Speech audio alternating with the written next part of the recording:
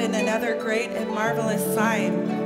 Seven angels with the seven last plagues, last because with them God's wrath is completed. And I saw what looked like a sea of glass, glowing with fire, and standing beside the sea, those who had been victorious over the beast and its image, and over the number of its name. They held harps given them by God, and sang the song of God's servant Moses of the Lamb. Great and marvelous are your deeds, Lord God Almighty. Just and true are your ways, King of the nations. Who will not fear you, Lord, and bring glory to your name?